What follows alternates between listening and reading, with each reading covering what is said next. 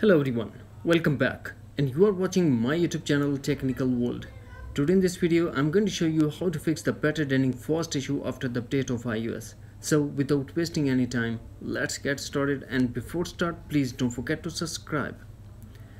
The first thing that we have to do launch settings then tap on general and tap background app refresh tap again background app refresh and select off the second thing that we have to do launch settings privacy location services turn off location services tap turn off to confirm.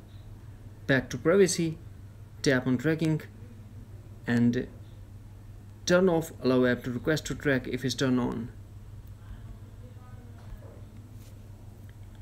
The third thing that we have to do go to settings tap on bluetooth and turn off Bluetooth if it's not connected to AirPods or Apple Watch.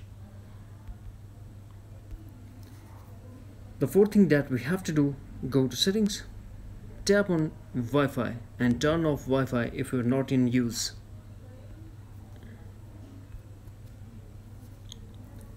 Number 5.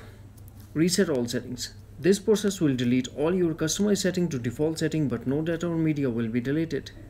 For that, launch settings, tap general tap reset and tap reset all settings.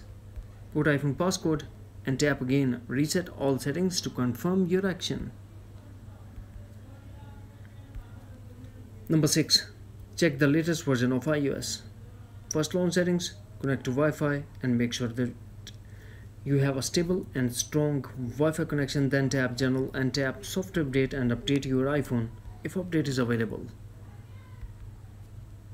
that's it. Hopefully friends you found this video helpful so please don't forget to subscribe like and share with your friends and family.